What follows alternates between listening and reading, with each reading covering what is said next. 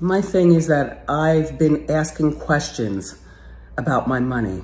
And when I began asking questions about my money, suddenly Lori Schiller has got no response regarding my money.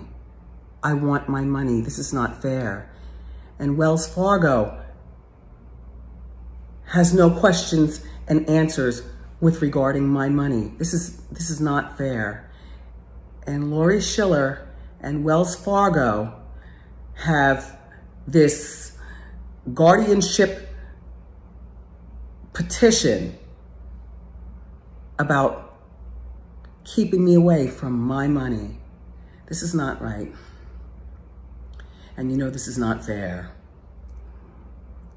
And this guy named Bernie Young, I know for a fact that Bernie Young used my American Express card to hire an attorney to file a petition against me. That was done with my American Express card. Bernie Young, you're no good. And this is not fair at all, you know? And then there's this person, um, this, uh, oh gosh, this, uh, a former, a former doctor, a former doctor, okay, had medical information about me that I never even got. It was sent over to Lori Schiller. So I haven't gotten the stuff. I fired the, the doctor. And again, all I want to know is where is my money? This is not right. And certainly, this is not fair. This is not fair. You know? Wells Fargo has used all this stuff to create the guardianship over me. This is not right. And certainly this is not fair.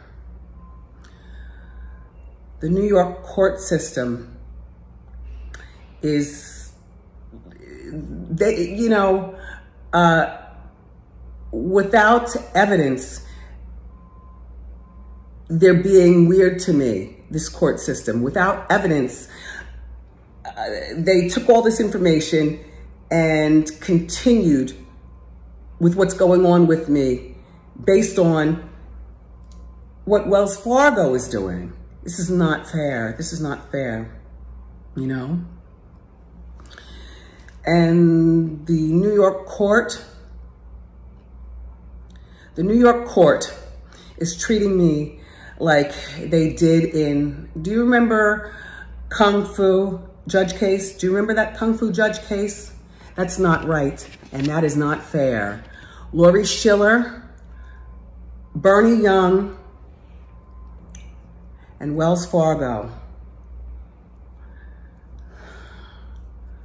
Please let me have access to my money. This is not right. And again, this is not fair. Have a pleasant day. Thank you.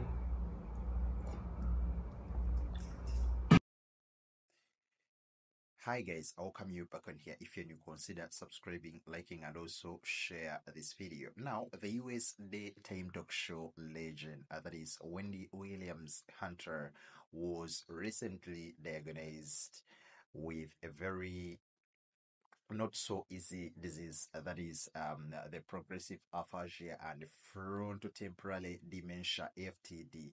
Actually, they say it's the same kind of issue which another movie legend that is Bruce Willis is facing. The team said they were sharing the news to correct the rumors that were inaccurate and very hurtful to the family and Wendy Williams, who is, by the way, a 59 year old. They say um, actually this issue was diagnosed last year. She had been, you know, be having um, uncoordinated and, you know, um, stuff that were related to her behavior that were not so normal to the Wendy Williams we all know. So Uh, the fans they were made aware by the family. Of course there was a documentary that was made and recently it has been circulated and so many people have actually come out to watch it. You can check it out via various documentary streaming platforms on youtube or netflix and others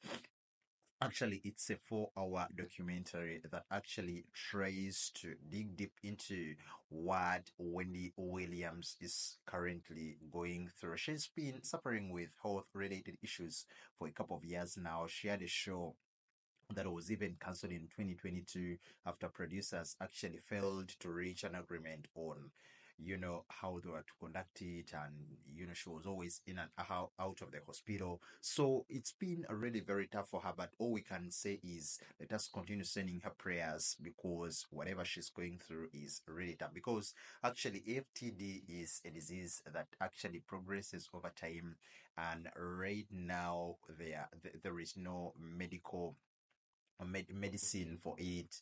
They can only slow it down. Uh, The doctors, that's what they say. And it's, you know, a disease that can just eat you up slowly. So, um, we should send more prayers to her, her family, and of course, the fans who really loved her because, you know, FTD is not so easy.